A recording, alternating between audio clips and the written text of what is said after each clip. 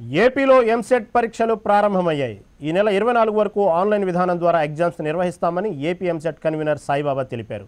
Engineering విభాగంలో ఒక లక్ష తొంభై ఐదు వేల ఏడు వందల ఇరవై మూడు మంది అగ్రికల్చర్ అండ్ మెడికల్ విభాగంలో ఎనభై ఆరు వేల తొమ్మిది వందల పది మంది విద్యార్థులు దరఖాస్తు చేసుకున్నారు.